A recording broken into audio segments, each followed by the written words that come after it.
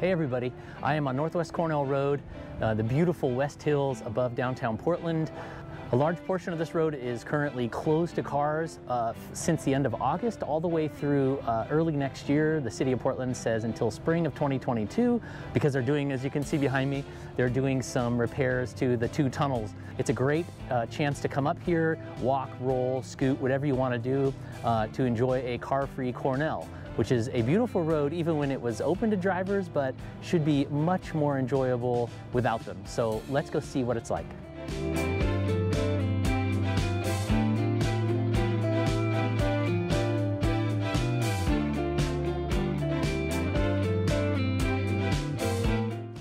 One of the coolest things about riding on Northwest Cornell Road is that there are these beautiful paved paths that go around the tunnels. Uh, these are only for bikers and walkers. These aren't part of the work zone or the construction or the repair project. Uh, they are always here. If you've never been up, you're really missing something.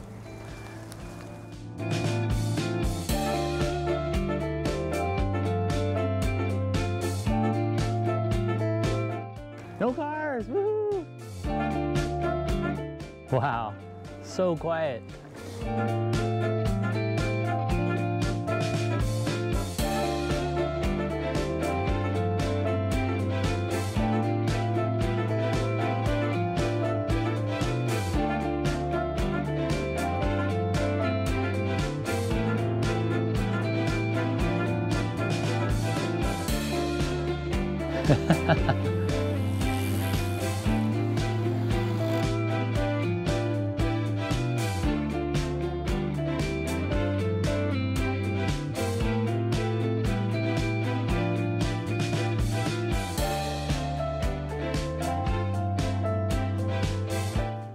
So no big deal, just sitting in the middle of uh, Northwest Cornell Road.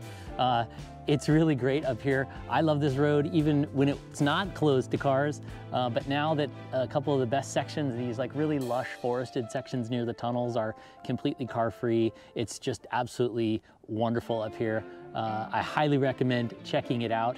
Uh, the city's gonna have this section closed to cars till, uh, till early next year.